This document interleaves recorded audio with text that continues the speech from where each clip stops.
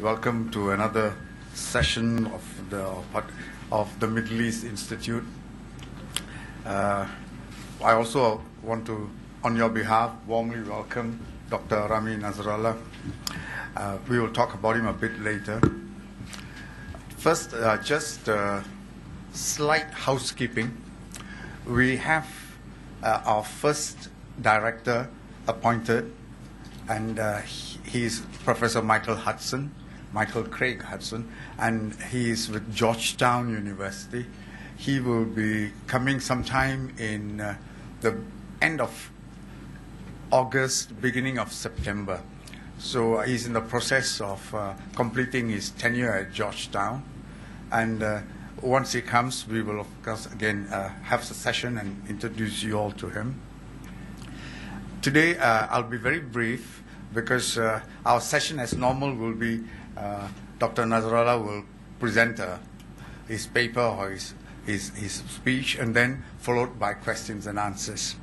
He says that he would rather have a short session speaking to you and a longer session asking questions and answers. So I will leave that to him.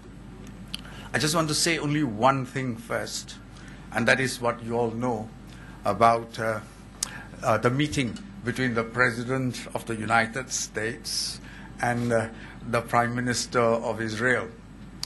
Uh, this is the second time they're meeting, and you'll recall that the last one was a no meeting or a non meeting. Hardly anything was said. Uh, it, it was more uh, meeting of differences, a collision actually, not a meeting.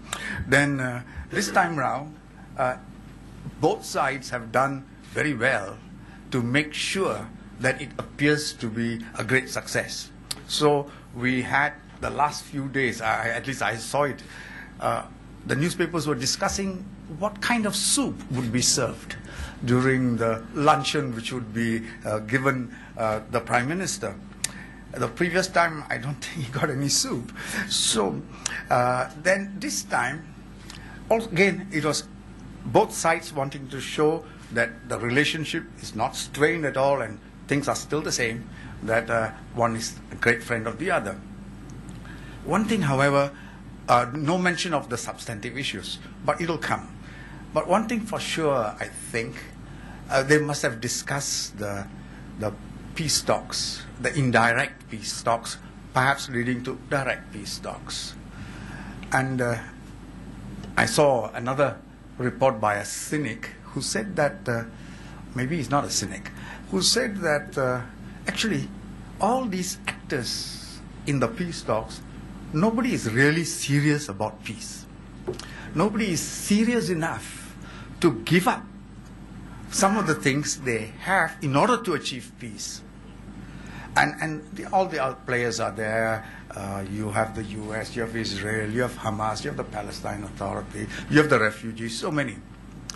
But the cynic ends up by saying something very interesting. He says, perhaps the one party which is most interested in achieving peace is the US, and they don't know what to do how to achieve that. So, on that very happy note, that nobody knows this, I will hand over to uh, Dr. Rami, who actually, whose PhD is in urban planning. But he's a Palestinian, he has lived there, and uh, uh, this is not his first time in Singapore. When we had a seminar last year, or was the year before last, he very happily came along and we were introduced to him by my friend at the end there, Michael Vatikiotis, who himself bears a rather important name, his father being a renowned uh, uh, expert on the Middle East. You have in your with you papers which give you the CV of Dr. Rami. Now I invite you, sir, to come and join us.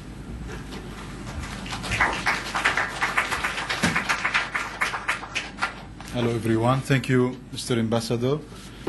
And thank you for the golden opportunity to rethink the conflict from far away from Jerusalem and the occupied territories. Uh, in my lecture, I will try to examine the internal uh, political events and dynamics that they were affected and affected by the conflict and the resolution of the conflict. I will avoid stating a position which sounds like political or personal and try to analyze the uh, more the trends, uh, especially those have to do with the internal Palestinian politics and the way they are going to impact the peace process and which scenarios uh, uh, can be uh, developed based on the current uh, trends and their future development. I will not go back to the long history of the conflict. I will start from the Oslo peace process and actually the end of the Oslo peace process with the first intifada in September 2000, which actually changed uh, the uh, rules of the game and to introduced a new challenge for the Palestinian cause and for the Palestinian politics. Uh, the second intifada, which break down on, which break on September in September 2000, it actually had its own internal uh, reasons. The Palestinian Authority, which was established in November 94 when Arafat returned back to Gaza, and later to Jericho, and say you know the day after on the 2nd of July, uh, Palestinians uh, actually witnessed a different model of, uh, I would say, a ruling uh, uh, uh, party, which is quite different from their image and from their perception of the national liberation movement.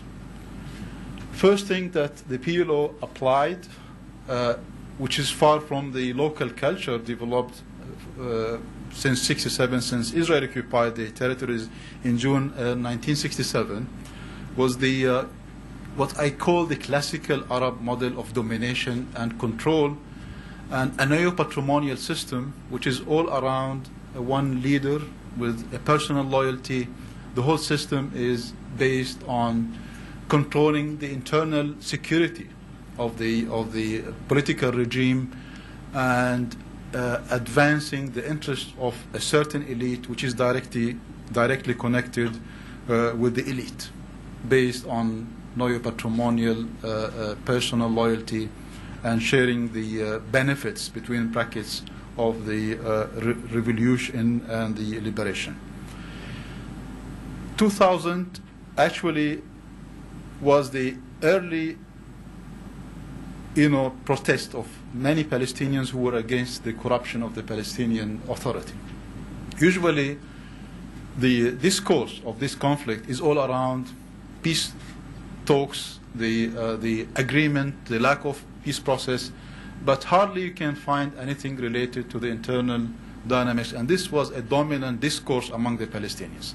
The agenda was all about uh, the level of corruption and the, uh, the, the, way the Palestinian people felt uh, against the, uh, this new uh, political system. So it started as uh, uh, the, the second intifada started as a protest against this corruption model. Uh, that's why it was not a co coincidence that it started in the periphery of the uh, Palestinian territories, Jenin, Nablus in the north, where uh, most of the refugees who were totally marginalized by the new uh, political system, and they were the fighters of the first intifada in 1987.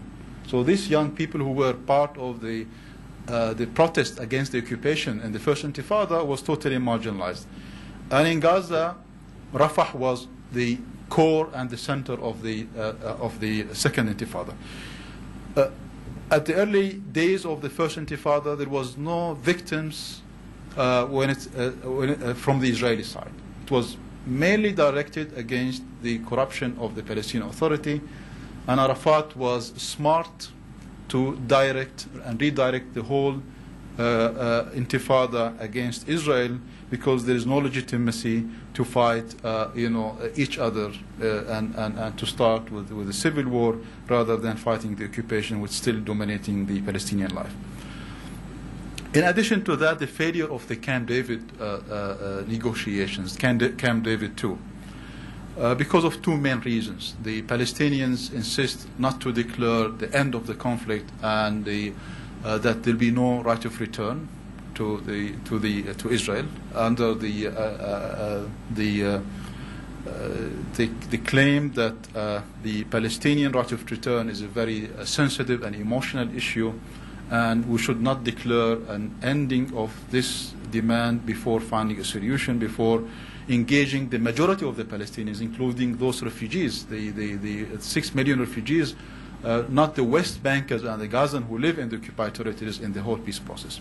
And the second reason was Jerusalem and the way uh, the, uh, the Israelis, the Americans dealt with the issue of holy places and imposing sovereignty and recognizing the Israeli sovereignty on Al-Haram al-Sharif, which was one of the major obstacles. But parallel to that, Arafat, uh, he assumed that a certain level of violence could help in a Palestinian negotiation position. And this was uh, similar to other models uh, uh, and, and, and, other conflict areas. Uh, I talked about the, uh, the, the internal, you know,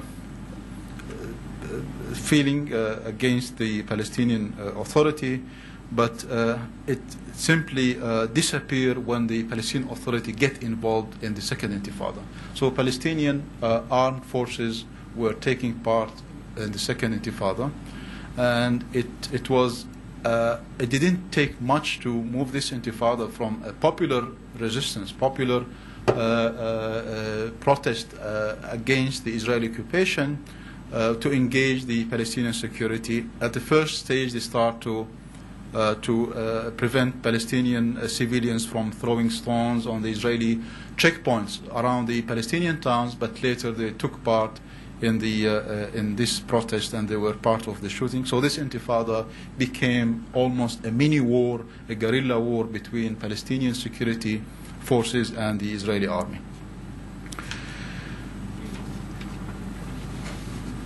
You know, second Intifada was was uh,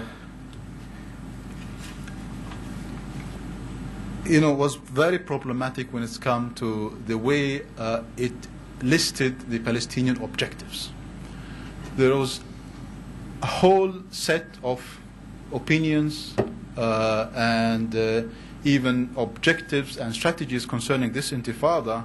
It started with the slogan "Liberating Palestine" through peaceful means, uh, you know, popular uh, protest, and it's also ranged uh, on the other side uh, to uh, armed resistance, and there, there was the dominant opinion of the PA that we should not intervene in this uh, violence because it could also uh, pressure the Israeli government the way Arafat uh, thought about this intifada. I will not go you know, back to history because I want to get to the to the main uh, dynamics, to the main uh, uh, internal politics of the Palestinians, and the fact that Arafat was declared as irrelevant leader by Israel and by the West, it actually gave him the green light for more internal uh, uh, violence uh, and at least not to stop you know the violence and all these, uh, uh, you know, uh, guerrillas um, in the periphery of the Palestinian towns became the dominant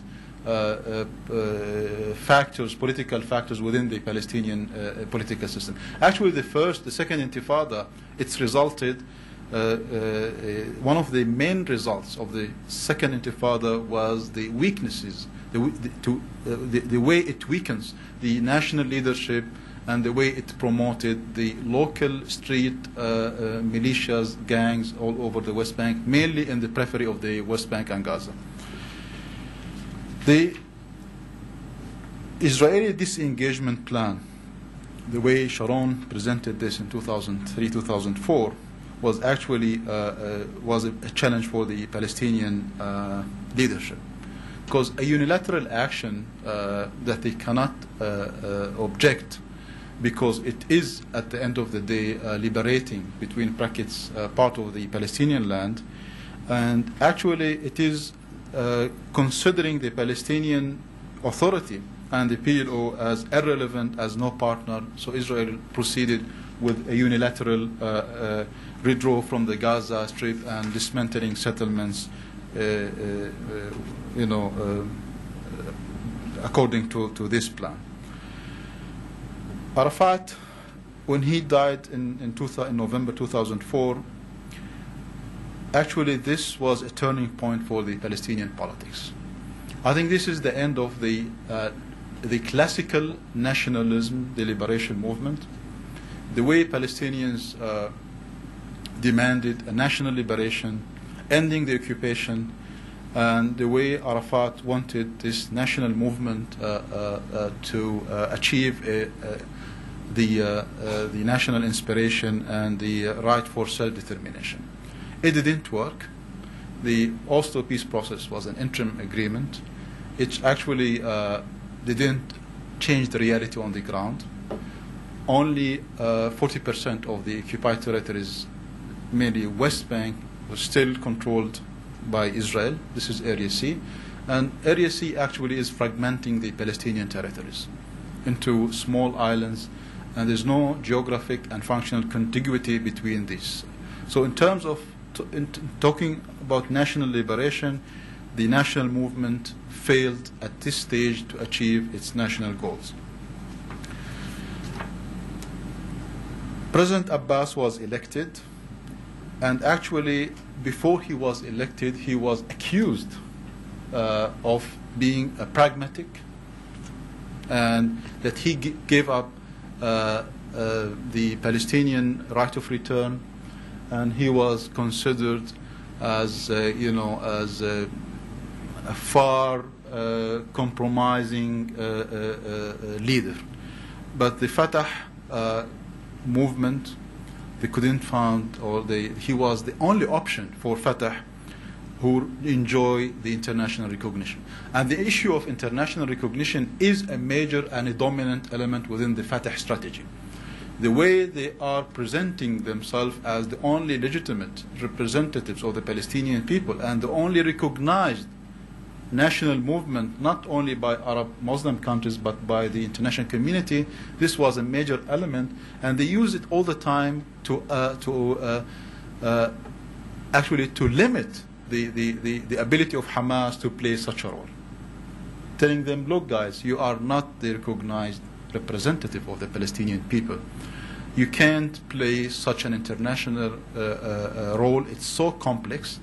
Uh, it will not lead you anyway because you are not recognized. And this is, was one of the major you know, packages that they used against Hamas, not only when Hamas uh, took over in 2007, but even earlier, even when Hamas demanded from 93 to have uh, uh, 40% within the Fatah, within the PLO institutions, the, the, the, argument that they use against this that we, we, we are not uh, enjoying this international legitimacy.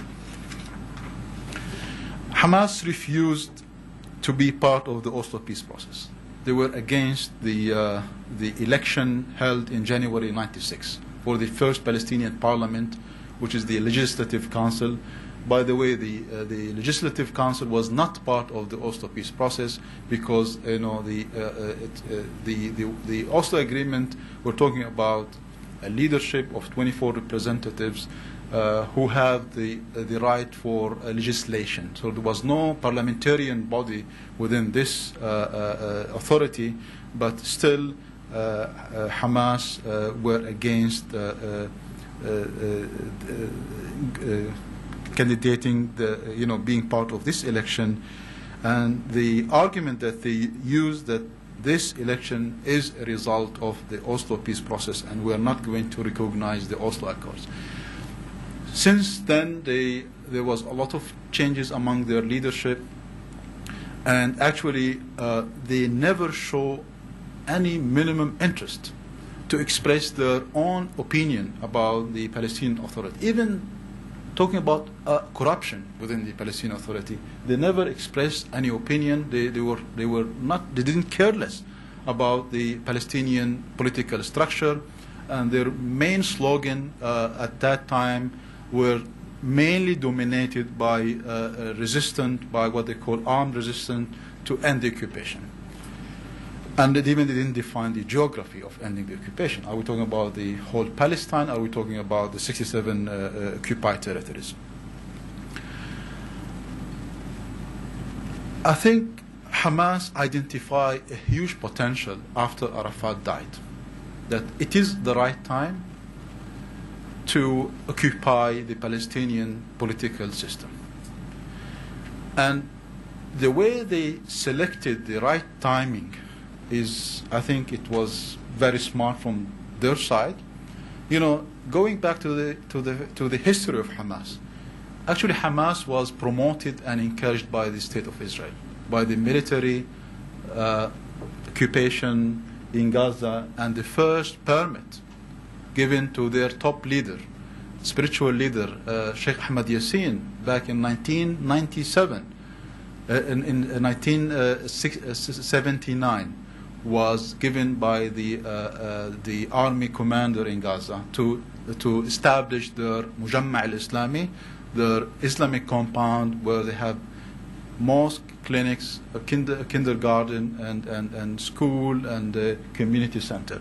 So Israel actually thought at that time that, you know, uh, uh, uh, in order to create a competing political power, they promoted and they uh, encouraged Hamas to compete with the PLO. The Hamas was very passive concerning Israel. They even they, they were stating uh, many times that our interest is to educate the, the, the, the people. The, the, the, the, this is the Muslim basic in the Muslim Brotherhood to educate the mass people. And then they shifted their whole strategy with the first Intifada and they established Hamas as the resistant movement in December uh, 1987. But before that, they were very passive concerning the Israeli occupation, and to a certain extent, they cooperated with the Israelis, and they were promoted by the Israelis. And we got, you know, the, the, the, the, the most harsh enemy of Israel, and uh, this is, you know, a result of their policy at that time. They, they identify the potential of being at least equal counterpart for the Fatah with the, with the election uh, uh, after Arafat left us. So actually we refer to the election, legislative election in January 2006 as the shocking victory of Hamas. I, th- I think this is not true at all because they, the Hamas candidates actually they, uh, they, they, they, was, they succeeded in the local elections throughout 2005. So there was an, an alerting sing, sing, signal about the, the, the, the, you know, the way they can uh, occupy the Palestinian political system. And most of the, those who voted for Hamas in 2006, actually they voted against Fatah. It was a kind of a protest vote against uh, Fatah rather than supporting the, uh, uh the uh, Hamas and their Islamic uh, views. And by the way, Hamas managed to uh, to reshape its, its, its image and to download actually to, to, to actually they, they, they undermined all their fighting and resistant uh, strategy.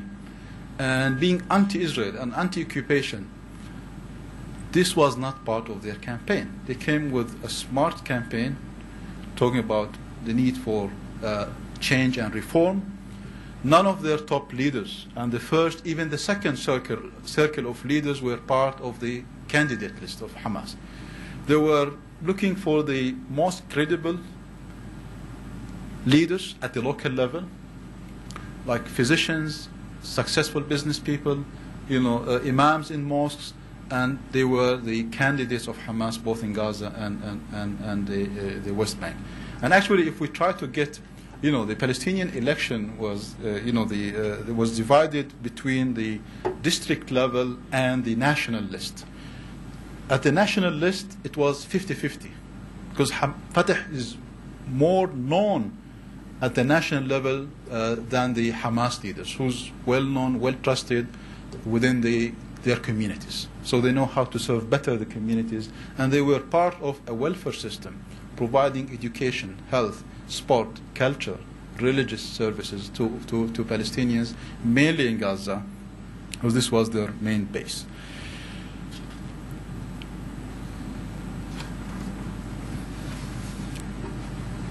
I think the best case scenario was to create a balance or what, what we can call 50 to 50 victory.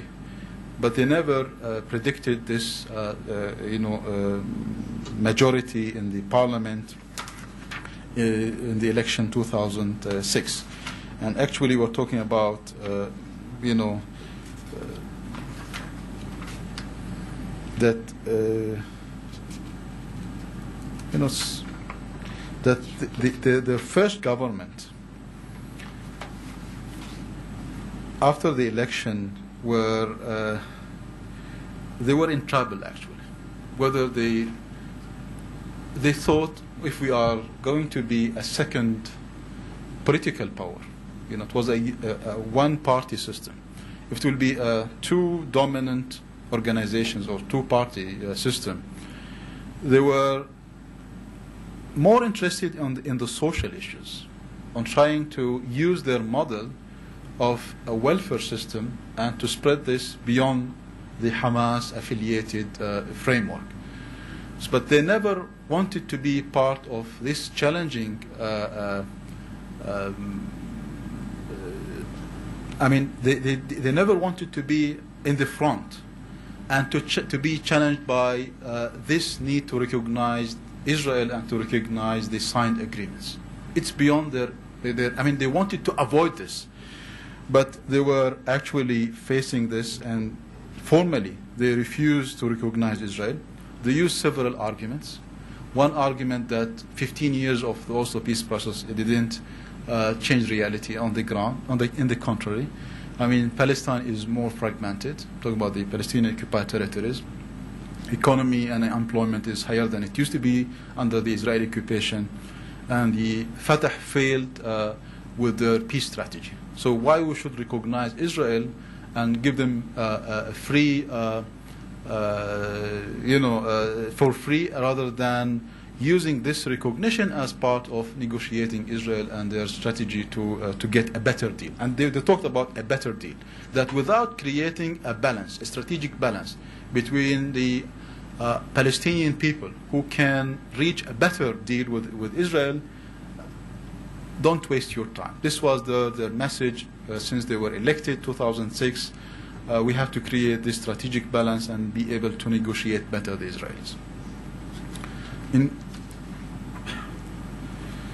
you know, I want to move from this, uh, their first experience of the international boycott of their government, and then the Mecca Accord, where they, you know, uh, uh, start to uh, in, in January two, 2000, uh, 2007, and the way they start to build their uh, recognition, their international recognition, starting with uh, with Arab regimes, and you know, by the way, all the Hamas discourse was anti-Arab regime. It's not a democratic one. It's, it's uh, against the will of their people. They are, uh, they are, you know, the oppression of the uh, of the Muslim Brotherhood all around. But they started to shift and to change their language, and Hamas began talking about being part of the national movement. And the Islamic roots did not conflict with the Palestinian nationalism. The first day that they occupied Gaza in June 2007, the Hamas uh, uh, security people were raising the, the green flag. It took them less than one hour to get a clear instructions by their top leaders to re-raise again the Palestinian flag and to take down the green flag because they are still representing the Palestinian people and they are part of the national uh, movement.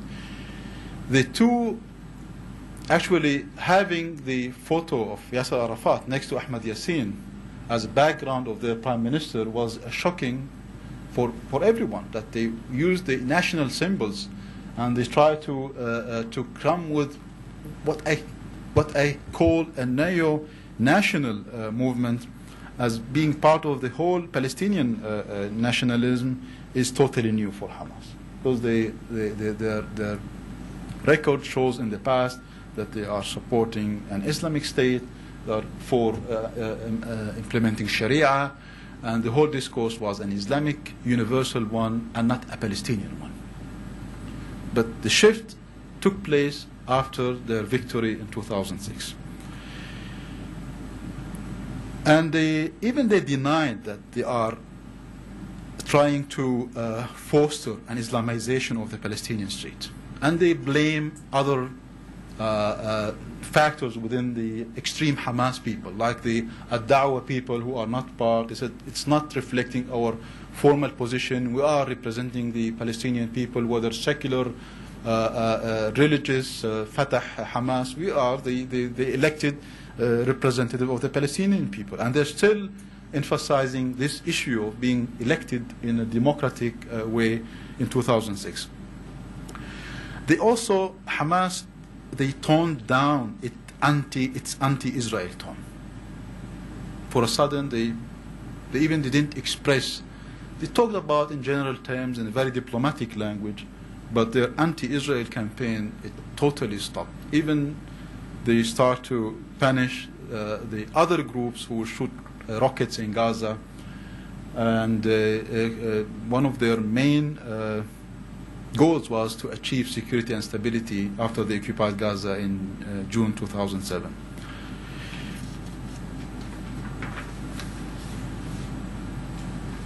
Hamas was the Palestinian faction most committed to the calm. Hamas being advocating uh, a terminology of the Hudna.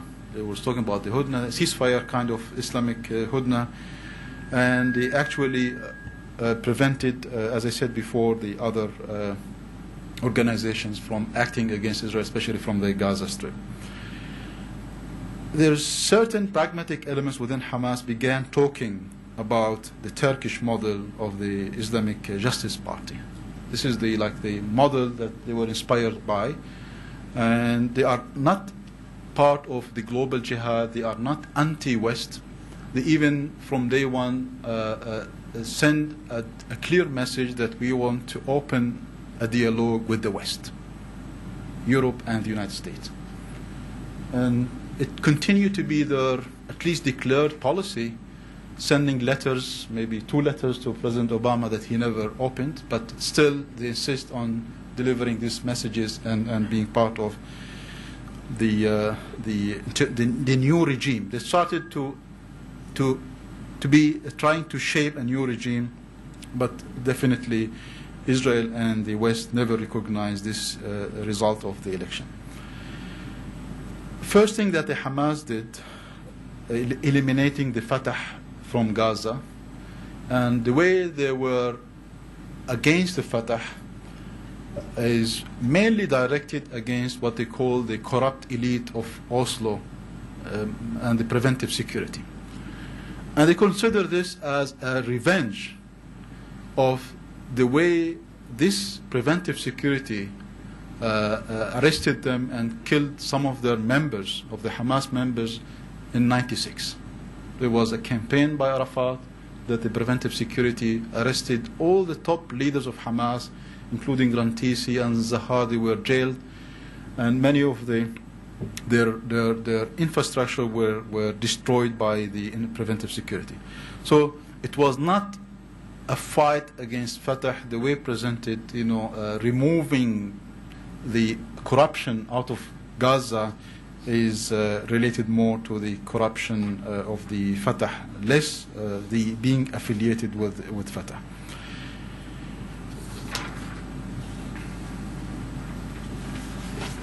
As we know that the national on 14 of June 2007,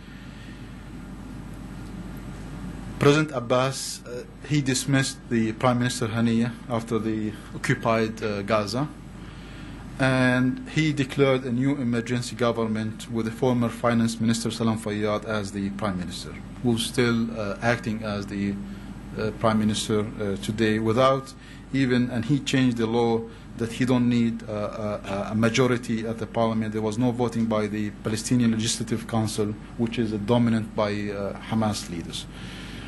Uh, the Fatah uh, they gave loyalty uh, to uh, to, uh, to Salam Fayyad, and by the way. many of the articles written on Salam Fayyad, the, the affiliated him with the national movement. He never been part of the PLO He never been part of the national movement. He was a bureaucrat at the World Bank. He was not part of the PLO.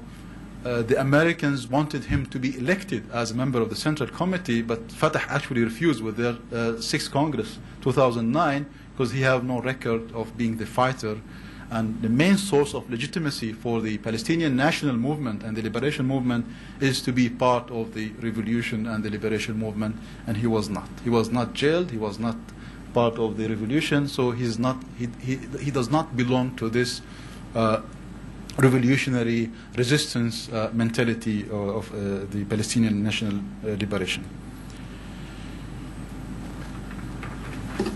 I will move to the Hamas rule in Gaza after June 2007. I think in six months they succeeded to sustain uh, and to control governance functions in Gaza including security, economics, welfare, and public infrastructure. The first decision by the West Bank government of the Prime Minister uh, Salam Fayyad to order the 70,000 Palestinian Authority employees in Gaza to stay away from work, uh, or they will lose their salaries. So the Palestinian Authority continue to pay the salaries of all the Gazan who are employed by the Palestinian Authority. And the Hamas created a parallel bureaucratic system with 30,000 employees affiliated with Hamas. And it was actually a relief for Haniyeh and the, and the Hamas government to take this burden of 70,000 employees directly paid, paid by, by Ramallah, and this is still the case until today. Ha, the, uh, the Haniyeh Hamas government, they inherited an entire administrative apparatus uh, complete with a host of managerial and technical skills and procedures and mechanisms along with uh, regular, regularity and all the legislative frameworks as developed by the Fatah-dominated Palestinian Authority since 93. So it was ready for him to take over. And he have other advantages that the Ramallah-based Palestinian Authority don't enjoy at all the unbroken territorial control over the, in, the Gaza Strip had allowed Haniyeh government a degree of policy, coherence, and continuity. First thing that he did is to impose law and order and to end the chaos. The security chaos resulted from different families loyal to different fractions, uh, shifting their loyalty. One day Fatah, another day Hamas, and the third day uh, part of Al Qaeda. And this was the case among some of the families in Gaza. And it was a kind of unemployment uh, uh, opportunity for many of these family affiliated uh, guerrillas uh, to carry weapons and to get uh, support and budgets by the different fractions. Uh, according to an estimate by local bankers, the tunnel tunnels authority of Hamas, they earned 150 to $200 million in 2009. We're talking about 5,000 tunnels to smuggle products from Egypt to Gaza. This is the main basic economy of the Hamas government beside their welfare system. Even they managed to establish a newly formed Islamic bank, which is not recognized by the Central Bank of the Palestinian Authority.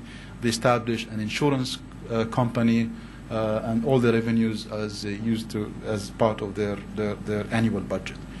So in terms of how sustainable their political regime, achieving their uh, law and order and creating a coherent uh, one command of the military, I think it is very stable.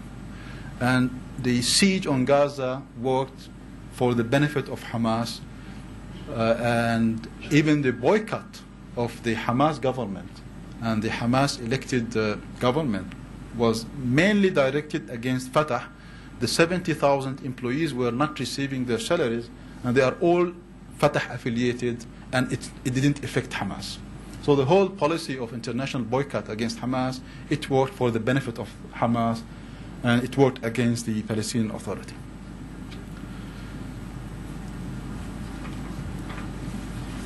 You know, there is a changing the rules of the Arab-Israeli conflict with the Salam Fayyad new strategy. You know, the classical strategy of any national movement, ending the occupation first, and then we start engaging in building our national institutions and our state.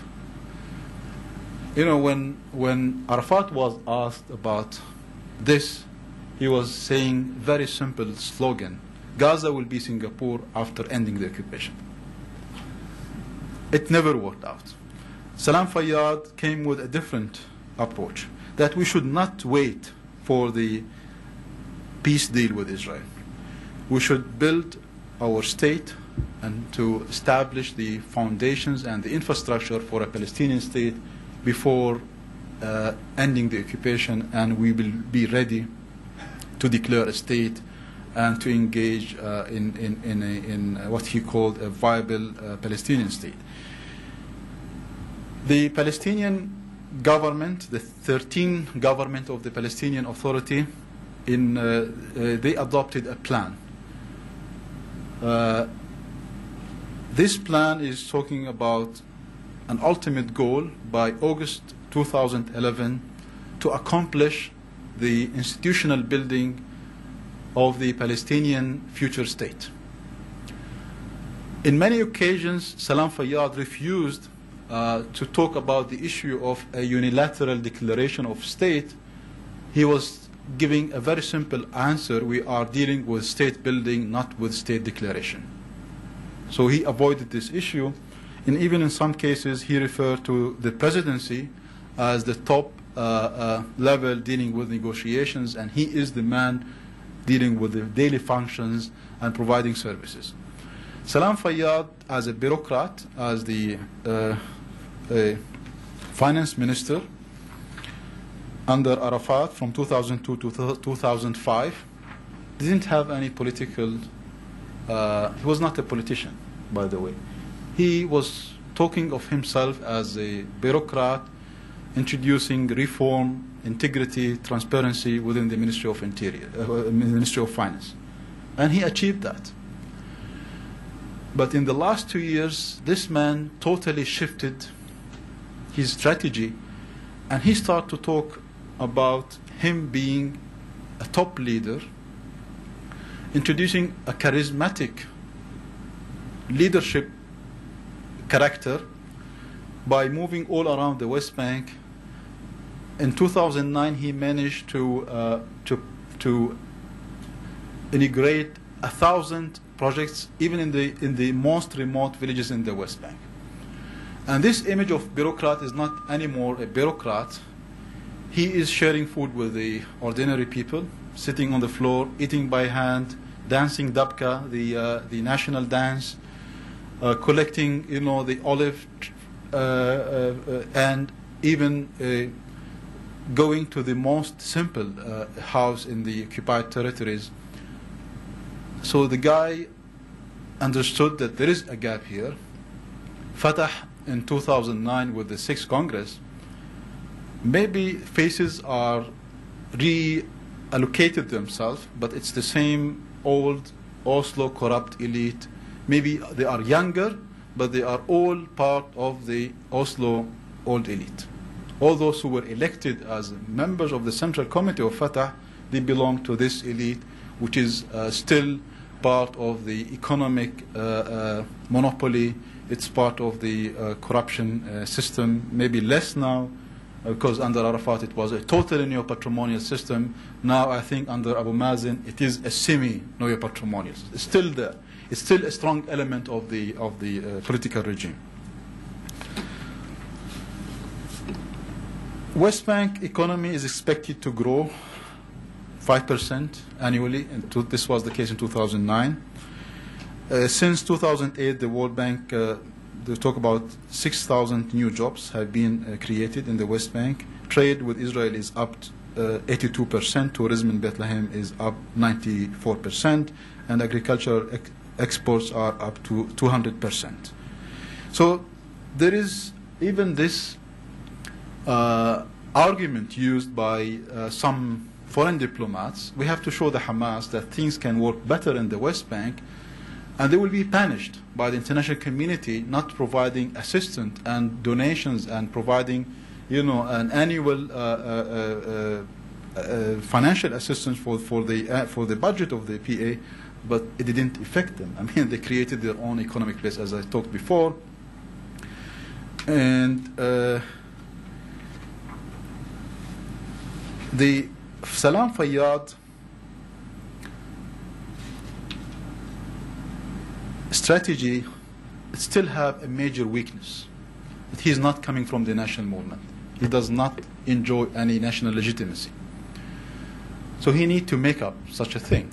So he's now an active politician in all these campaigns against settlement products. He participate in, uh, uh, you know, uh, boycotting, uh, calling, uh, he called for uh, a boycott of goods imported from the uh, Israeli settlements. He even uh, participate uh, in this campaign from shop to shop to make sure that they don't have a settlement products. And by the way, the UK were labeling all these settlement products three years ago. But the PA started to adopt this policy recently. The, the, the issue of lack of strategy if we will uh, gamble on a peace process and there's no uh, progress, so what will be the alternative? Within the sixth Congress of the Fatah, there was two extremes. One talking about the, uh, the uh, armed resistance, back to the old strategy of the Fatah, the PLO, and the Fatah mainly. And the other extreme was still want to be engaged even in a new interim agreement because there's still a hope for a comprehensive permanent agreement. But in between, we hear more and more voices, and it's adopted by Salam Fayyad talking about what they uh, consider a popular resistance. The first Intifada model of a protest, pro protest against Israel in a non-violence campaign, boycotting their products, having peaceful demonstrations against the wall. The Ni'lin Bil'in, which is two villages north of Ramallah, they provided a successful model where Israel, because of the weekly, uh, uh, this is not because of these weekly uh, demonstrations, but Israel changed the route of the wall in, around these two villages, and this was considered by many Palestinian uh, field activists and by politicians as a successful and inspiring model for a peaceful resistance. So now they're talking about a new strategy. It's not uh, if the peace process will fail, will be able to resist the Israeli occupation by peaceful means and ending the Israeli occupation, similar to the way the first Intifada brought the Madrid Peace Conference in 2001. The Palestinian cause was upgraded and was considered as a top priority by the international community in 2001 by addressing the resolution of the conflict, and we have to get back to the same level and the international community should put pressure on Israel to end this occupation. So this is the dominant, uh, you know, uh, uh, discourse among uh, the Palestinian leaders in the West Bank. Gaza, they are in between delivering messages which could potentially accept them by the international community, like Israel is a fact, we accept Israel, we are willing to recognize Israel, if we'll be part of the international legitimacy, if we'll be part of the game. And the others will use the old argument of resistance and the record of Hamas fighting the Israeli uh, Israelis and not only the Israeli occupation, but you know uh, the, their attacks against the Israeli civilians in Israel proper. So I think I was trying to draw a kind of topology of the uh, conflict far from the position and the statements of politicians about the just cause and the Palestinian national demand and the Palestinian national right and the right for self-determination. Because I think there's more, even more dominant factors, trends affecting the whole spectrum of the Palestinian people, whether Hamas or Fatah internally, and they will be part of the whole package. So what is the expected uh, scenarios? I think there's three scenarios Uh, and I think based on this lecture, and we can talk about it later uh, through uh, asking questions, these three scenarios are uh, a way things will develop based on the current trends and, and, and factors. The first scenario, I gave it a name, two heads of the political system. We have the Gaza, Hamas continued to rule Gaza, the national unity dialogue failed, Israel eased its siege around Gaza. This is the today talks. You can identify some of these elements and, and current trends even today, which is happening already today. The tunnel economy continued to be the main economic base of the Hamas government. Uh, what is certain is that the new economy enabled Hamas to look after its own with the, with the 32,000 government employees, another 40,000 to 50,000 people working in or around the Hamas regulated tunnel economy, and a network of Hamas associated Islamic charities and zakat committee complementing the social welfare uh, that the movement can rely on uh, to sustain its government, uh, its ruling uh, uh, governance in, in, in Gaza. There is a new political reality now in Gaza. There is a successful governance of Gaza. Maybe some people will argue that Palestinian public opinion are against Hamas, less supporting Hamas. Uh, I don't think this is the main factor. The main factor is their ability to control security and to provide services and to provide the basic welfare system and to respond to the needs of the people.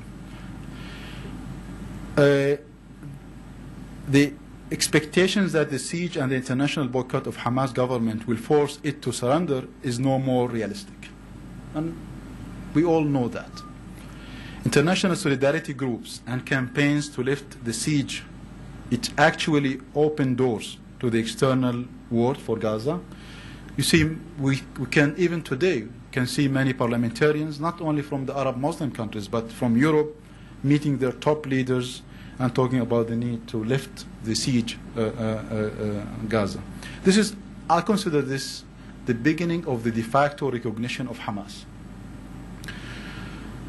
West Bank, Fayyad is going to achieve his development goals without ending the occupation. But he is prepared and he put the infrastructure and the foundation for declaring a state, which I don't think the Palestinians will declare it in a unilateral action. Because the whole, I mean, one, Israel will use this to annex land, because they are still dominating and controlling the territories, 60% of the land in the West Bank, and all settlement blocks were de facto annexed by building the 760 kilometers of wall around the West Bank. He managed to impose law and order in the West Bank. The whole security chaos resulted from this uh, street guerrillas of the Second Intifada is ended. And all these activists, their top leaders were guaranteed positions within the, the new system of the PA, this is the way to integrate them.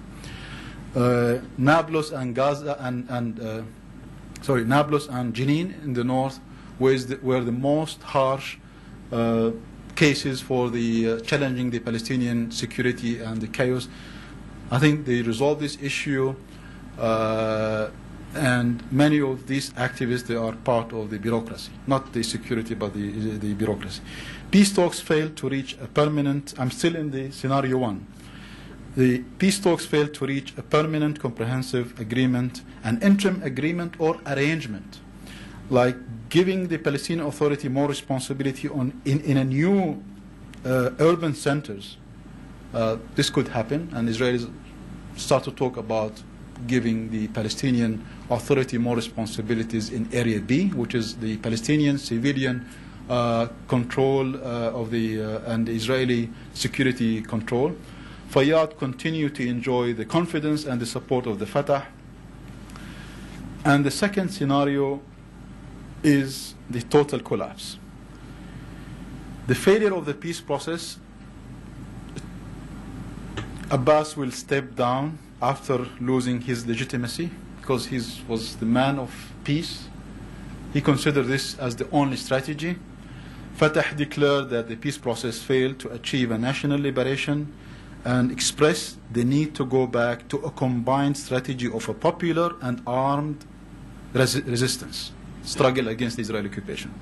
The old Oslo elite and the internal Fatah leadership, what I mean by internal is those leaders uh, uh, within the West Bank, uh, they dismissed Fayyad and all his new elite that they supported the development strategy before ending the occupation. So this strategy and the plan to build a state, it failed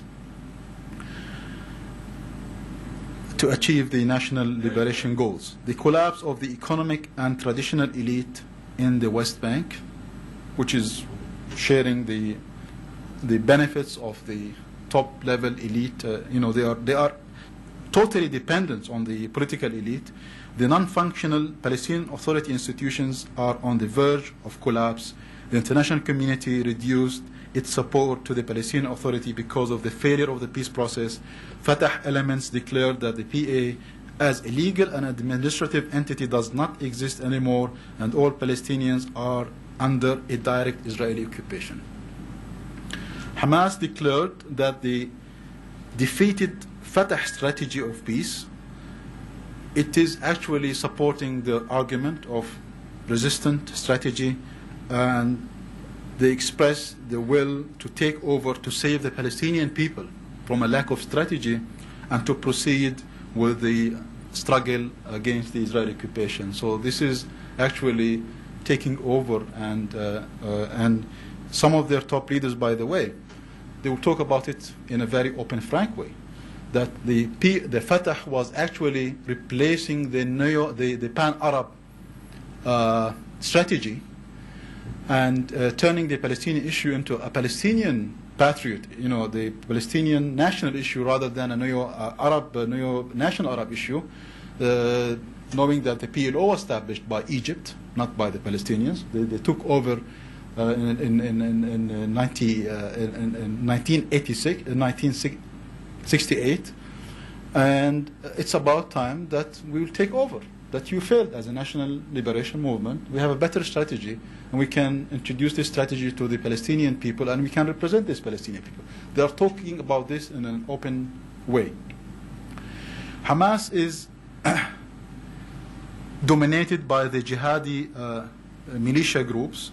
This new reality uh, causes unrest for the entire region and led to a regional war with a semi-formal military organization groups from Lebanon, Lebanon, Syria, Jordan, Iraq, and Iran. Talking about uh, confrontation between Israel and Arab uh, organizations. Scenario three. This is the optimal scenario. That it can, and, and this is what I call the viable democratic Palestine. That the forces in Hamas that believe in political participation and melding Hamas into the Palestinian political life, they prevail. The international community recognizes Hamas as long as it remains willing to participate with the national forces in maintaining calm and security and politi- political stability for the sake of resuming the peace process.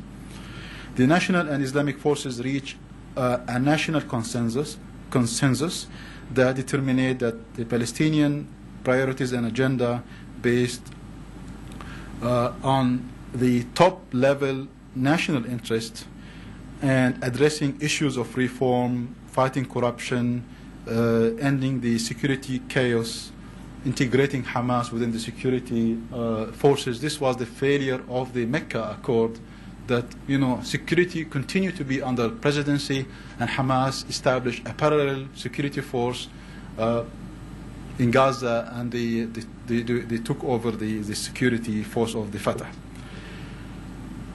Uh, the, the, the Hamas agreed, they agree on a political program based on serving the national, and the Palestinian national interest, and accepting the establishing of a Palestinian state within June 4th, 1967 borders. They also ag- agreed that a viable democratic Palestinian state is the only guarantee for Palestine and the future of the Palestinian people. They are talking about uh, donor countries, under this scenario, donor countries whom support 90% of the annual budget of the Palestinian Authority today. They will take a new approach in dealing with the issue of support of the Palestinian Authority by concentrating on supporting the private sector and the civil society in, additional, in addition to supporting the government. The economic situation witnessed, you know, uh, uh, you know, uh, improving the economic situation, GDP per capita income increased significantly. We're talking about renewed hope for political and economic horizon. The, the Arab and Islamic and international investment in Palestine, Palestinian state uh, witness uh, intensive return of Palestinian capital and know-how to take part in the building of the Palestinian state. This is the naive scenario, but you know, let me dream about it. This is talking about uh, the uh, the viable democratic Palestine. I think this scenario could work under two options. One is a comprehensive permanent status agreement. Two, a, uh, an interim agreement which will last for long periods. So under these two options, this viable democratic state, using the Salam Fayyad plan and his parallel strategy of building a viable state parallel to ending the occupation, I think is the right strategy. I want to stop here to allow you to ask questions. Thank you so much.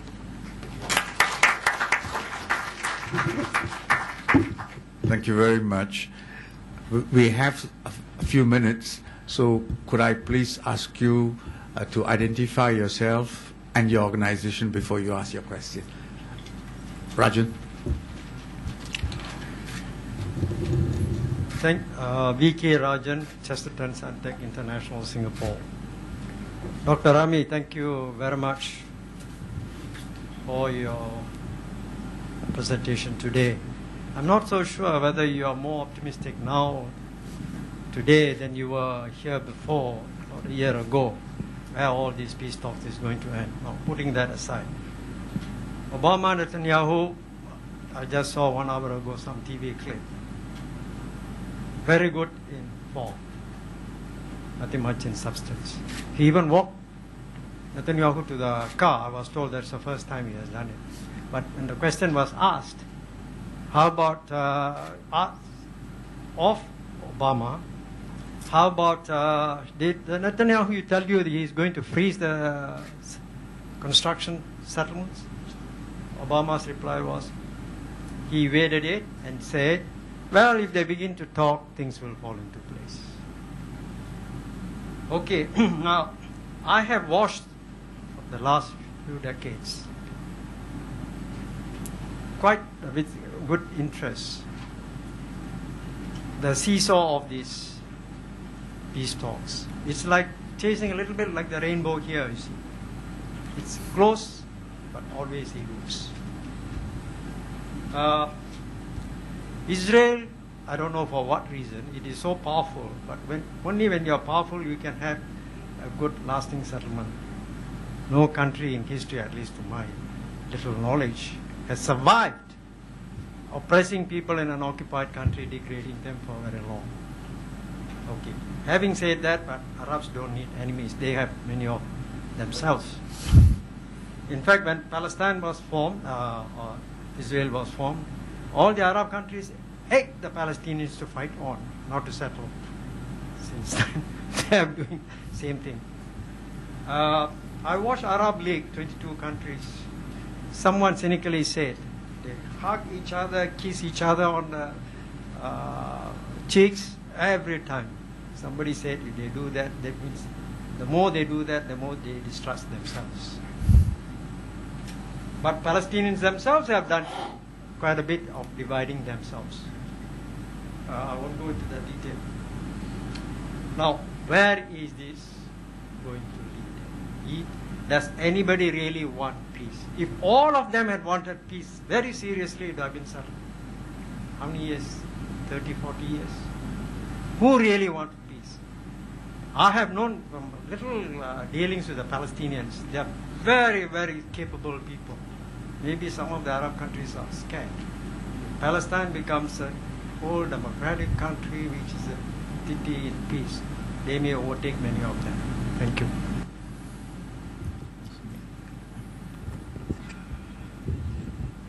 You know, first you have to define peace. What is the vision of peace for both sides? If you ask a Palestinian today about his vision of peace, he'll tell you a very simple answer just leave me alone. I'm not interested. No one is talking about the macro politics, they're talking about the survival techniques. Even in, in, in, in the most uh, you know, flourishing city like Ramallah, people lost confidence and hope with the peace process. When you ask Israeli about the, what they mean by peace is to keep the piece by piece under their control. and uh, using the argument that demography and security threat are the considerations to keep the domination of Israel. I think this is a short-term objective, and this is very military philosophy and approach, not considering the potential of a better future for everyone.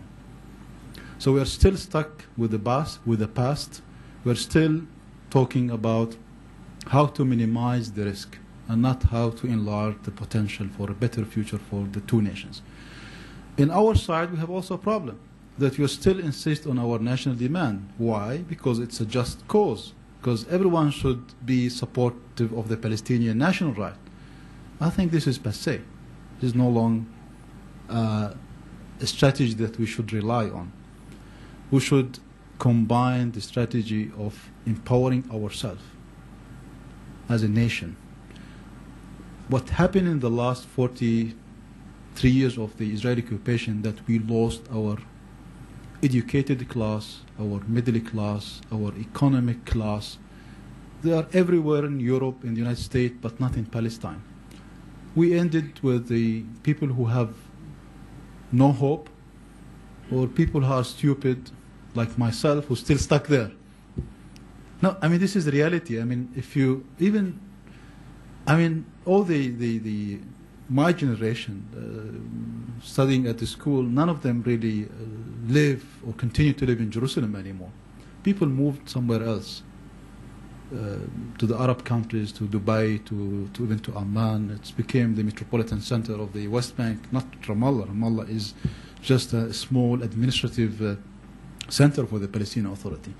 So we're still stuck with the, with the past. We are still refusing to consider the future and the potential for future. So no one is talking about this future approach, uh, this future potential of peace. They are talking about how to minimize the risk, how to keep uh, this risk under the minimum level, and this will not lead us anywhere, both sides.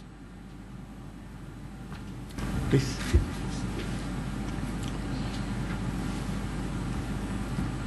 Dr. Nasrallah. My name is uh, Burhanuddin. I'm a retiree, just an interested uh, observer of the Palestinian diaspora. My view is that the Palestinian question has been hanging over us from the time, because I've been following this trend about Palestinian uh, nationhood from the time of uh, the hijacking of the aircrafts by Laila Khalid and the, uh, you know, the extremist elements of uh, George Habash and Nayef Hawatmeh. So I was wondering, wherein lies the Palestinian uh, diaspora? Because, uh, may I ask a question before I continue? I believe Palestine has thrown up more doctorates PhDs than anywhere else in the world. Am I correct? No, no, no. Only in the Arab world. Maybe Lebanon is first and Palestine is the second, but not anymore. Education is deteriorating yeah, down, yes. Oh, because uh, I remember a lecture by Dr. Edward Said, who is now deceased. Um, he mentioned that 57% of the PhDs around the world are Palestinians.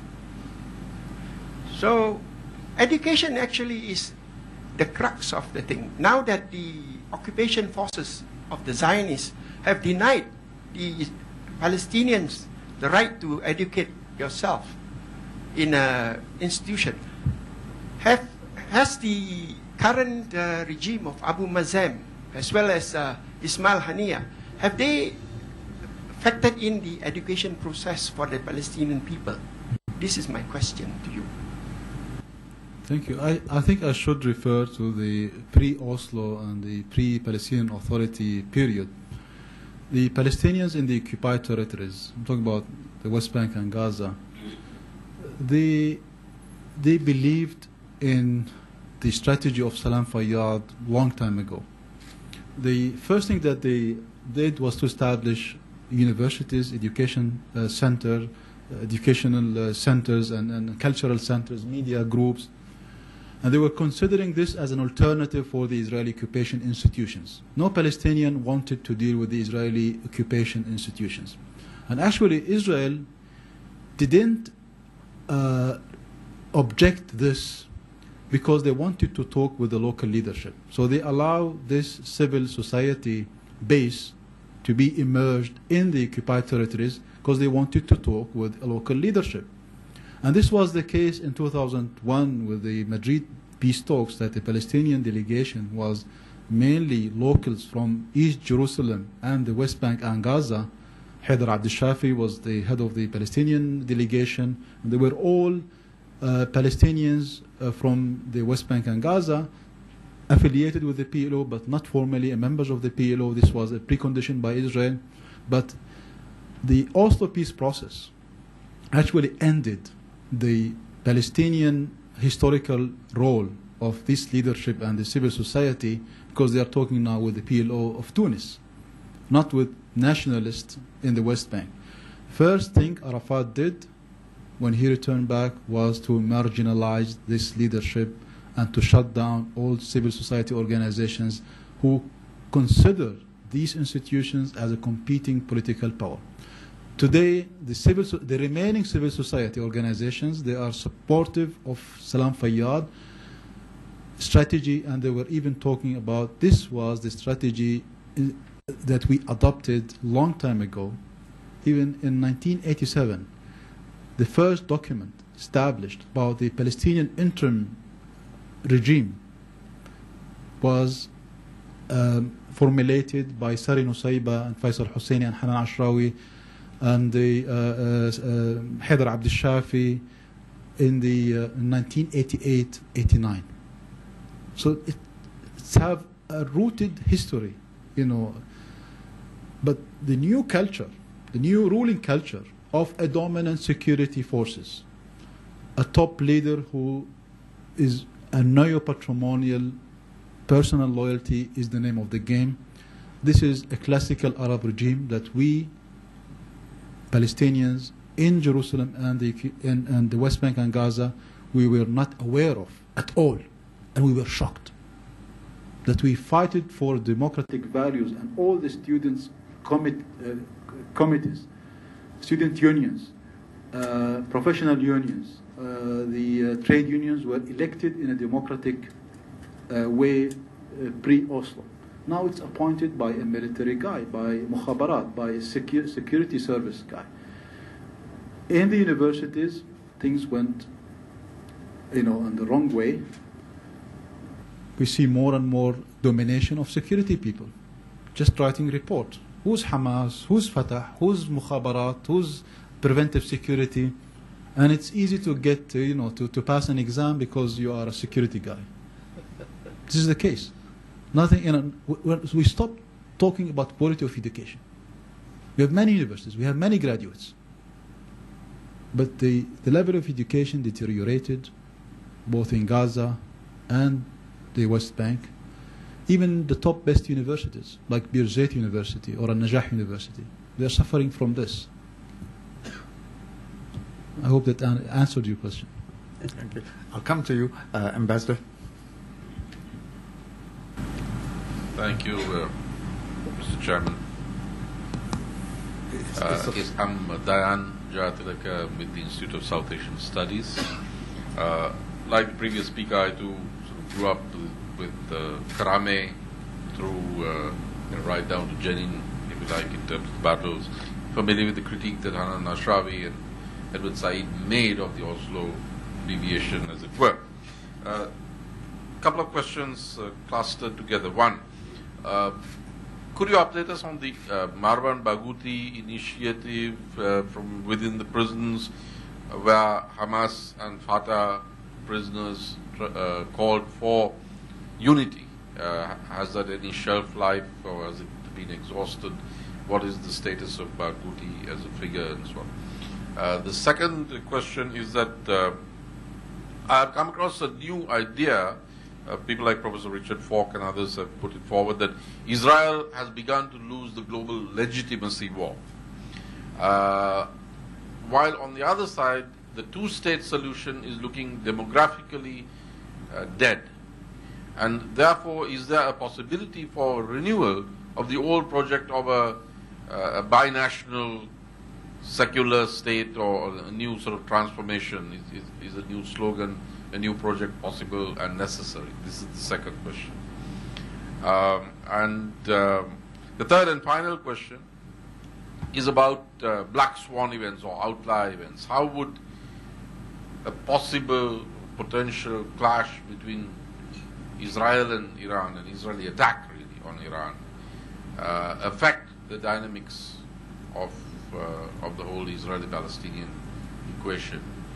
Uh, given also the changes that have taken place within Israeli society and Israeli politics, the new configuration that we see is far more ideologically rigid than anything that we have seen before. Thank you. Yeah, I will start with the first question. Uh, I think Marwan uh, one, was one of the marginalized leader, leaders by Arafat. We should not forget this. Uh, there's two opinions about Marwan Barghouti from an Israeli perspective. One, that he is the Palestinian Mandela and we should release him. This is the Shabak opinion at that time, the Israeli security uh, uh, secret, uh, forces, uh, you know, the secret uh, service.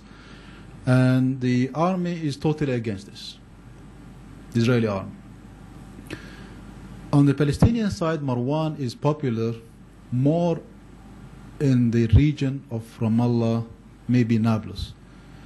But Palestine, because of the fragmentation, because of the 650 road blockades since 2000 second intifada, because of the 760 kilometers of a barrier and a wall, it's became a very localized society. Even the notion of nationalism and national interest is even more weak today.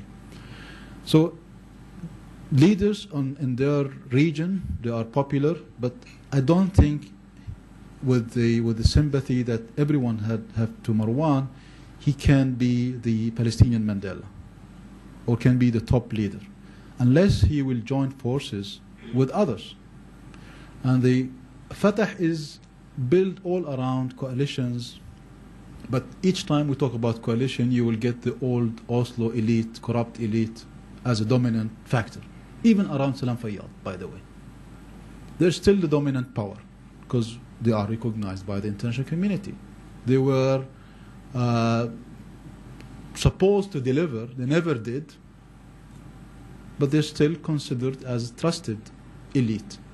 You know, the problem of the Palestinian national movement, even when, when the PLO was in Beirut, that many Arab and regional forces were in, have a lot of say within the decision making of the Palestinian, uh, Palestinian national movement. This is still the case. I think Egypt have had its own agenda. Jordan, they want to eliminate the Muslim Brotherhood and to disengage Hamas from the Islamic Brotherhood in Jordan, which is, you know, we know that they, they are one, one body. You know, Hamas, West Bank, and Jordan, they're one body. They try to uh, to disengage between them. Syria have a different package of interest. The same with Iran, the same with Israel, the CIA, the MI5, whatever. It's a conflicting interest. It does not give the Palestinians the space to shape and reshape their agenda and their priorities. So Marwan is one of the names that they mention about in all, all the time, but we have other great leaders like uh, I don't know if you heard this name, uh, the uh, Muhammad Ghanem. He was one of the top leaders in Tunis. He was the head of the Fatah, but he was against Oslo. He never returned back. He returned back a year ago. No one hear of him anymore because Fatah lost credibility, and the majority of the Palestinian people today want to step away from Fatah Hamas fight and, and, and to look for something new. We are reluctant. We can't look for something new because we didn't achieve our national goals. This era of national liberation is, is still on hold. We can't move to a national building, to a state building, to a civil culture, a democratic culture, while we are stuck with our nationalism and national liberation. So this is the dilemma of the Palestinian people. And we have the paradox that leaders will talk about peace, but if they want to gain popularity and legitimacy, they will talk about, you know, fighting the occupation, and this will sound like an anti-Israel, which is not. I mean, even boycotting the settlement, who occupy our land, grabbing our land daily, it's became anti-Israel for many Israelis today, which is not. I mean, uh, it's clear message that not to boy boycott Israel products, is to boycott settlement products. So it is not easy for the Palestinians. It's not easy for the Israelis. Talking about the two-state solution, I think the wall is ending, and it's already ended this theoretical idea of one-state solution, democratic state of solution. And the segregation, even inside Israel, is much larger and much even between Jewish and Palestinian Israelis. With the wall, I think this idea is not any more realistic. The two state solution is still the only option. It can't be uh, a partial solution of giving part of the land. It can't be uh, uh, a, you know, uh, a security plan keeping 60% of the West Bank and fragmenting the Palestinian territories and controlling the borders and the Jordan Valley. It can't be. It should be a viable, democratic, contiguous state. Israelis should take the risk. And believe me, if Palestine will be a viable, democratic state, this is the best service for Israel. Because Israel will be integrated in the Middle East, it will be part of the Middle East, will not be a small island within the enemy uh, surrounding, and the only condition to achieve that is to have peace with the Palestinians. It's not Iran, by the way.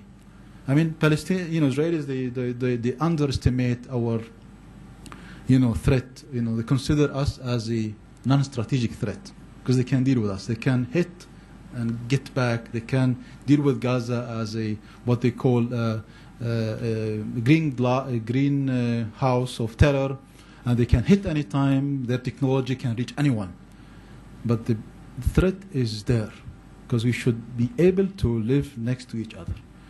I mean, I have many Israeli friends, and I wanted to know more about their cognitive map. And I kept asking many of my friends whether they recognize the wall driving or road number six, which is the main, you know, national road. Uh, but you know, close to the West Bank. And they never recognized the wall in Qalqilia and Tulkarem, which is just 12 kilometers from the coastal area, from Tel Aviv, because it's there. It's the third world country. And Israel is actually moving to a different scale of, of a Western uh, globalized economy uh, with its economic uh, global elite in Tel Aviv. And these people intend not to think about the conflict, they want to forget about the conflict, they want to avoid talking about the conflict. And we have the ideologists, the national religious in Jerusalem, around Jerusalem, in the West Bank. And I think this is different Israel. This is not a one discourse. And we have a problem facing with which Israel we are talking to. Is it the global civil Israel or it's the ideological Israel? How to bridge between these? The, uh, there is a gap here. Similar to the gap that we have between West Bankers and the Gazan who are, who are part of the package and the Palestinian diaspora, that they should be part of the comprehensive deal. We can't keep away 6 million or 7 million by now refugees uh, out of this uh, comprehensive uh, solution. It should be a comprehensive deal not to end the Israeli occupation in the 67 borders, but it should be a conciliation between the Palestinians and Israel, the Arabs, Muslims, based on the Saudi initiative, which was totally neglected by the Israeli leadership, Sharon, and, and, and it's almost not there. It's, it's just irrelevant. So Iran, good for publicity, for uh, showing uh, the uh, strategic threat for Israel, and don't underestimate this uh, threat, but they, it should not be used to underline uh, to undermine the Palestinian cause and not to and to avoid dealing with the Palestinian issue, which is the core issue for the two nations. Yes, please. uh, Lim Sui King from Singapore. Um, I think history provided us a lot of relevant experience. I think Palestinian, if they want to seek international recognitions, it has to have power by itself. 1804, uh, Foreign Secretary Harrowby tell uh, Sec- uh, Secretary of State's Madison's, if you do not have power, then don't fly your flag. The British tell the Americans. The same thing, uh, 12th of March, 1937. Uh, Churchill tell the world that you do not have the right, neither do you have the power on Palestinian issues. So it is important for the Palestinians to unite among yourselves and to bring good governance to your people. Otherwise, international recognitions as given to Pinochet, Lon Nol, Park Chung-hee, Suharto did not last. I think it is important for you to recognize yourself, to improve your educations of your people, so that you can have your own people to lead your own institutions, just like Middle East Institute. Singaporeans need to learn from the history, just like Palestinians have to. Thank you. Thank you. I, I, I don't know how to answer you, but I think Oslo, uh, which is a great concept, but it's a horrible implementation, it was focusing mainly on security uh, issues, how to provide security, and without tackling the, the, the, the real issues. You know that the Palestinian GDP per capita under Oslo, the good days of Oslo, dropped down from 4,000 under the Israeli occupation to 1,200 and to 900 and maybe now it's $1,000. Less in Gaza, $700. So it didn't achieve prosperity. Peace is a way of life.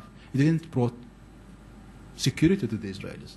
But the focus on security as a goal, not, not as a tool, this was one of the biggest mistakes of, of the Oslo peace process. And we should learn from that. Power is, we don't want to be uh, a military power. I think Palestine should invest all its, I mean, it's, it, we have only one thing, human capital. And we should invest this in building a strong state, strong education system, strong health system, cultural life, urbanization. And this is the, the way, and we have to be part of the region and part of the global economy of the region. And I think we are capable to do it. And this is our power. Our power is our human resources. We tried all the power games of resistance, military resistance, terror, name it. It all failed. On the Israeli side, someone like me, who was educated at the Hebrew University of Israel, when I start talking about our right for a viable democratic state, they start to laugh. I said, you, third world country, are you capable to do it? Do you, are you deserve it? We have to shift the discourse from dealing with the Palestinian issue as a humanitarian issue, as a third world country problem, and Israel, if will not promote a partnership, a real partnership with the Palestinians, to remove at least the obstacles of creating a viable democratic Palestinian state, functionally, geographically, I think they are going to lose on the long term, and this is against the Israeli interest. I'm not here to reflect only my Palestinian package and agenda and priorities. I don't want you to support my national rights. This is not important anymore. But I want you to support the building of my nation and my state and my viability. And this is a responsibility of Israel, of the international community, and we should be the one who will achieve that and the one who should remove all obstacles, mainly Israel. 6,000 Palestinian holders of foreign passports are not allowed to access Palestine because Israel is controlling the borders. They issue the visas. These people were contributing a lot to our economy, to our education, to our medical services, mainly European and American citizens. citizens. The, the, the way Israel deal with them as potential terrorists. Why your name is an Arab name? I have this feeling going through Ben Gurion airport all the time. I have to be checked as an object, not as a human being. I'm fluent in Hebrew. I'm traveling three, four times a month, but still I'm an object. They have to check me as an object. This is will, this will not lead us anywhere. Will it change? Will the Israelis change? We have to push them to change, and we have to change ourselves. It's not a one unilateral uh, demand.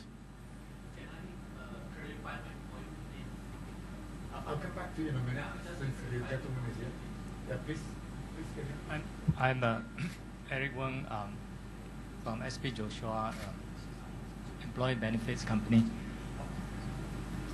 Sorry.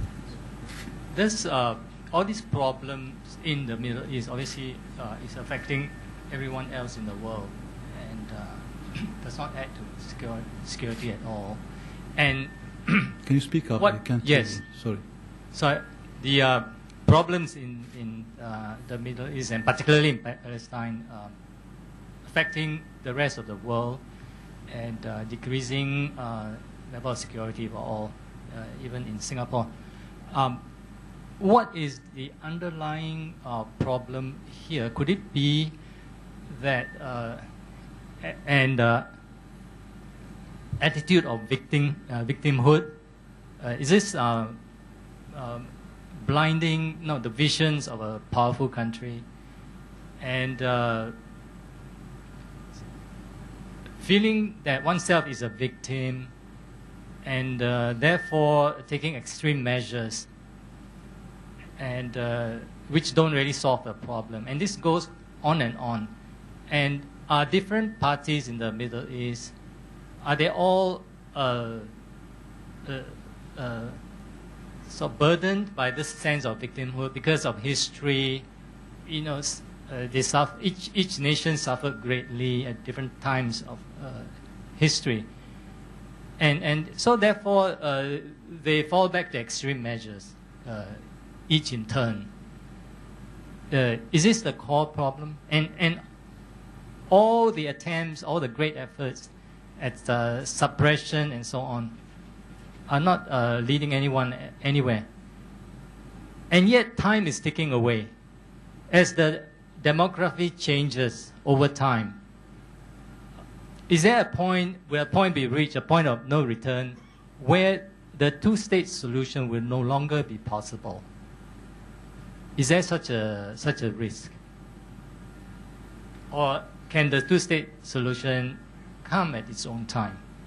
With the different birth rates going on and with the intermingling and uh, can Israel uh, remain a democracy? Um, that's my question. You know, I can't answer for the Israelis, as you know, uh, but uh, I think the uh, the two-state solution is still there, and we have to move fast, at least to have the political horizon for such a solution, and to remove all obstacles related to the risk of today by keeping territory, Jordan Valley and the you know the uh, the border between Ga- the West Bank and and and, uh, and Jordan, and to look for more creative uh, solutions for security. Security threat is not anymore related to Israel, it's more related to the region with global jihad and with all the security threat around. Even Hamas recognized this threat by getting to a mosque and killing a top leader of Al Qaeda because they recognize this could threat their stability as a political regime. So security threat is not anymore uh, a monopoly of Israel. I think Jordan facing a lot of security troubles. It could potentially, you know, create instability. Uh, I think there should be a situation where the Palestinian issue will not be labeled to delegitimize uh, the efforts of getting to a, a peace process. Sometimes the Palestinian issue being used as a, a, a label uh, not to integrate uh, Muslim communities in Europe. They just go against their governments using the, the Palestinian issue, the, the solidarity with the Palestinians. So there is still a domestic politics uh, under this package of supporting the Palestinian um, cause everywhere, by the way. Uh, here in this Southeast Asia, uh, that have their own domestic uh, politics in Europe, everywhere. The two-state solution is the only solution uh, because we don't want to live uh, mixing with each other. We want to live next to each other. And there's no successful model of integration. Israel is a Jewish state, it will continue to be a Jewish state. And the Israeli self determination is by having a state with defined borders, and this is what Israel should accept to define its final borders. Palestinians deserve a state because we waited for this for a long, long, long time. It's still there. I don't want to use the one state solution the way some of my top leaders using this to threaten the Israelis by telling them, look, if you don't accept the two state solution, one state solution will be the, the, the, the only option. It's not. Because we don't want to mix, because we are fragmented society, because we are uh, you know, having a huge uh, socio-economic, socio-cultural gap between the two groups. We are two nations. We are with two national inspirations. This is this is reality, and we have the physical wall that I hope that one day it will be dismantled because, I mean, with with with with a drive of less than an hour from Tel Aviv to the Jordan Valley, there's no logic of having these walls preventing the two nations from integrating with, you know, interacting with each other and building a better future for the whole region. This is maybe the utopian, uh, but one day uh, it will be a reality. Maybe not my generation, but we have no other choice. Um, sorry, uh, when I talk about power, it's not talking about offensive power, but power among yourself, uh, ability to defend yourself, ability to educate your people, ability to interact with others without being treated as a subject, like what you mentioned. You know, the Jews experience worse uh, isolations than Palestinians. I think you agree with that. But they eventually come out as a nation. I think we have to learn from that that power is not necessarily offensive. Without power, you cannot survive.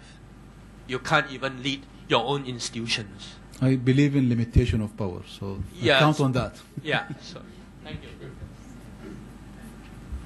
Yes, please. My name is Arlie Smoot, and I'm a student at uh, Lee Kuan Yew School of Public Policy. Um, my question also has to do with uh, the Palestinians' power and the, the way he defines it. Uh, I'm very pessimistic of peace coming without U.S. involvement, and I'm very pessimistic about the U.S. ever recognizing Hamas. So, with that being said, do you see Hamas and Fatah ever reconciling? And if so, how could that be done? There's two levels here. Uh, I mean, having uh, a top leader who's part of the Oslo old elite, uh, like Jibril Rajoub was the one of the heads of the preventive security in the West Bank, where Israel released his brother, who was the top leader of Hamas. This is uh, one family, and you have a similar situation among many Palestinian families where two brothers, three brothers, one Hamas, one Fatah, and it's uh, at the level of the social fabric. I don't think we have a problem. The problem is at the top level where the international, the regional and the international interest eh, are preventing the national unity because they have their own interest and their own package of interest that they try to introduce and to impose on President Abbas, preventing him from being more uh, serious about national unity, preventing Hamas from engaging in a very serious national unity without, you know, uh, knowing in advance what we will get. Because this is what is kept them busy. Uh, what you know, they want to guarantee the outcomes before getting engaged in a process. And sometimes it's a replacement mentality rather than political partnership.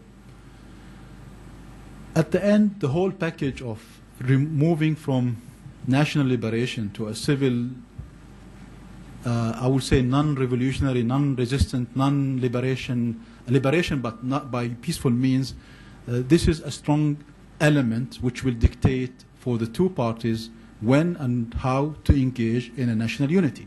And whether Hamas will be a part of the Palestinian uh, political uh, uh, map or not, uh, whether Hamas will be uh, supportive of the uh, peace process or not, whether they will continue to sustain the security around Gaza despite all the talks. You know, believe me, you have Israelis will declare one thing, but at the end, at the ground level, I believe there is a lot of interaction between Israel and, and Hamas. No coordination at the border can take place without such a level all their cabinet was jailed in Israel, so they must talk to them. Maybe I don't know which level, but they, they already did. No, um, they already, you know, for a long, long, long time they have this dialogue, and they have the old, uh, you know, dialogue and, and promoting a competing power to, to Fatah and to the PLO. It's a matter of uh, how to reallocate the whole Palestinian political system which new forces will emerge, whether this new uh, civil uh, constructive culture of building institutions will succeed or not. Because I, I give you my personal experience. As a Palestinian who never been to an Israeli jail, as you know, I was criticized all the time. How come you are an advisor to the prime minister? You've never been part of the resistance. You've never been part of the suffer. You enjoyed life going to the Hebrew University. So this was one of the, you know, the, the major criticism against uh, someone like me. And there is an emerging uh, Palestinian, I will say, uh, uh, generation who are in the same position, never been in the Israeli jail. They, uh, they get a good education uh, and I think they are not in a position to gain any power today in the current political system because it's still based on your legitimacy as a nationalist. But one day it will happen. I don't know when. And then it is all together. You know, it is all the combination of all the elements that I mentioned. They have to work all together. It's not Hamas vis-a-vis Fatah. You know, uh, many of the Palestinian students, they are not affiliated with any uh, political party. At least 40%, according to the, some public opinion polls. So this is the, the very politicized uh, organi- uh, young people. They are not. They are. They lost confidence with with with, poli- with politics, with the Palestinian fractions, and they don't support Hamas, not Fatah. They're looking for something new. They are looking for uh, you know, because these two political parties were educating their affiliated people that first thing to do is is fighting the occupation, ending the occupation. Nothing about their inspiration, nothing about their future, nothing about they don't exist as individuals. No one will respond to their agenda, to their, their youth agenda, to their you know hopes, to their you know dreams. It's not there because you know the whole thing was dominated by fighting the occupation, not by building a better society, a civil society, especially when the PA returned back to the Palestinian occupied territories. It was more pluralistic, it was more open, it was less, less religious, it was more uh, secular before than with, you know, the, when the conflict escalated, people became more conservative, more religious, more traditional. They try to look at the traditional family affiliation to protect them because they have, they, they have no party uh, to, to protect them and to advance their agenda. Uh, I don't consider the national unity as an objective by itself is a tool to move ahead and to establish a better Palestinian political system which will take the lead in establishing uh, the what I call the best case scenario. I think we've texted now. Uh, on that very happy note, could you please? Oh, sorry. Yes, you, you, you were going to ask a question? No. Ah. Oh, please, please, please. I'm sorry to um, No, no, no, no, come please. into the last minutes, but as a, a point can be made even in the last minutes, as we saw last night with the Dutch soccer uh, against Uruguay. Um, Rami, uh, thanks for the um, uh, explanations. Uh, my name is Atam Ramsundar Singh. I live in Singapore. I'm a Dutch citizen. I work with the World Bank. I was uh, involved on the Israeli side and on the Palestinian side for many years. Your last point, Rami, that you just tried to make is about the aspirations of those 40%, probably even the 100% of people living in West Bank and Gaza. What I experienced visiting Palestinian homes in refugee camps, Gaza, West Bank, I've been working with Israelis, ex Air Force generals, ex commanders, ambassadors, sometimes together with Rami, sometimes in secret. Um, what I learned, it's a deep rooted human urge for peace and realization of their individual family aspirations, both sides. International community is not focusing on that. We are locked in the box of classical scenarios two states, one state, yes, no, yes, no, zero, one, zero, one. It's not gonna go anywhere. I accept that as a reality of today's minds. What is important is the discussion we had a few years ago uh, in Jerusalem of establishing people to people dialogues. Those people moved by their human urges for peace. When you ask a Palestinian mother deep in Jabalia camp in Gaza. What do you want? She says, I want a good life. I don't want my son or my daughter to be killed. I need water. I need food. I need education. I need medical health care. When I had an interview with the Hamas, blindfolded, a couple of years ago for the Dutch government, I went into the Hamas circles and had a three hour interview. After a parade of accusations to the West, I thought I looked like an Indian, I might be killed even. Um, uh, but it went, it, it became a tremendous, interesting dialogue. When I asked the Hamas leader, people like Mahmoud Zahar, who is now uh, in exile, what do you need from the West? A country like the Netherlands, how can we help you? I got a long list of very constructive ideas. On that list was not mentioned weapons. These guys don't want that. What they want is substance and security for their people in terms of food, health, etc. So where am I going? What I want to say is that is there a possibility, Rami, and you and I are in a sort of a permanent dialogue. I also want to continue it here. Um, is there a possibility to elevate knowing these human urges, knowing they exist? We have been in those families, even though the politicians have that. Can we elevate this dialogue to a level where we don't talk about a state, but we start the dialogue by connecting to people's aspirations, dreams. Can I marry with somebody from Gaza? How will my marriage will be organized? Logistic issues. Can we take it from that level to a level that becomes the, the foundations for whatever solutions that can be built? Trust building is important. We were involved in all these sort of confidential dialogues in Sweden. It all mm-hmm. stopped. Why? Because the resources were lacking.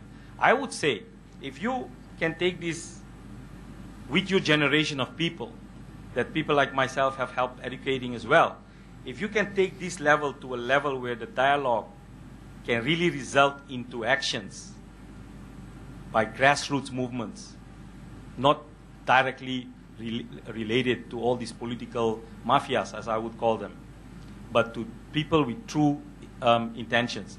Can then institutes like the Middle East Institute, with support of the Singapore government or other Asian governments, don't rely only on the Americans or on the Europeans. There are Europeans who could be uh, supportive.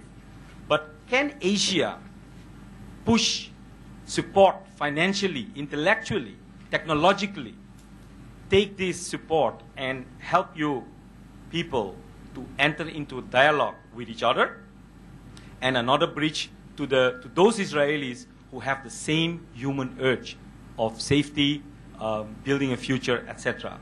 And, and nurture, feed the dialogue with positive thinking that we find here uh, in Asia with a lot of experiences in this part of the world. I think that's where the, the leadership could come in of a third force, but a force that encourages dialogue. What would you think about that, Rami? First, I do support the Dutch team, as you know. I think, you know, even in Gaza, according to uh, the FAFO public opinion survey just published now, even in Gaza, 65% they still support the two-state solution and a comprehensive permanent agreement.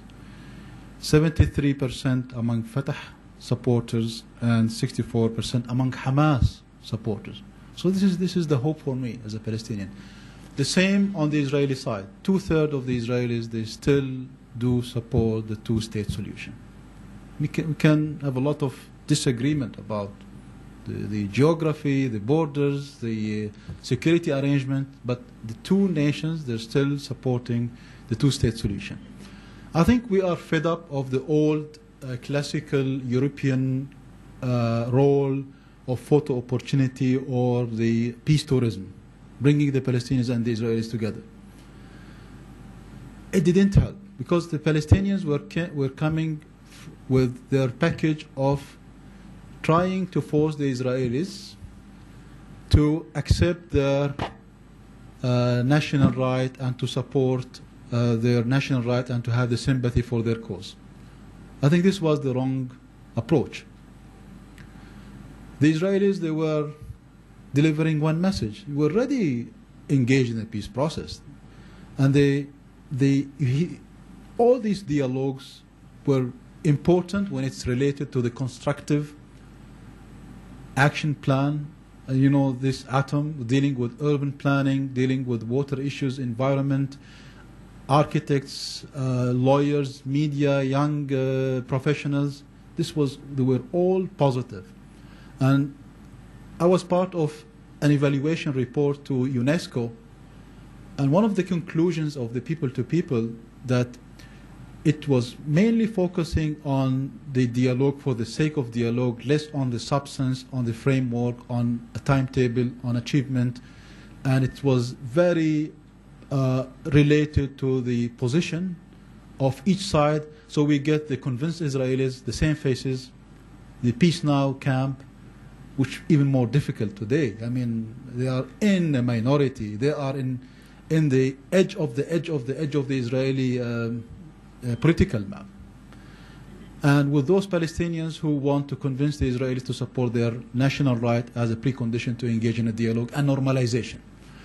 So we, we, we get the wrong approach by linking normalization with uh, linking this with the ending the occupation and supporting the national right, rather than linking this with empowering ourselves. No one can criticize me of going to the Hebrew University and getting the best education, or going to an Israeli hospital to get the best medical treatment because we admire Israel as a technology, as a medical, as a university, as an education system. Even Hamas. But when it's come to the political uh, and the, because of the physical and occupation and domination, it's a different mentality. And this is not fair to say it because we, the only image of Israelis is those soldiers and young kids who will tell us where to go and how to behave and where to stop and where to return back and etc. Because this is the only interaction with the military. With the even we missed that by the way, because all these checkpoints became very electronic technology one. You don't see soldiers, you just see, hear them shouting on you. Move to this side, move to that side. You don't see anything. It's just a dark glass. They control things. They push the button, and you don't know who's talking to you. I said, I miss the occupation. this is reality. I think we're still engaged in a professionals to professionals dialogue. This is very important. I think this part of the of the world is very relevant. Singapore is a, an inspiring model uh, for the Palestinians, uh, and we can learn a lot uh, beyond the slogan of turning Gaza to Singapore. Uh, we can start doing something serious about it. Thank you. Thank you very much. Uh, please join me in thanking Mr. Nasrallah we have coffee and tea and snacks outside so you can continue this discussion. Thank you very much for coming. Thank you. Thank you very much. Thanks.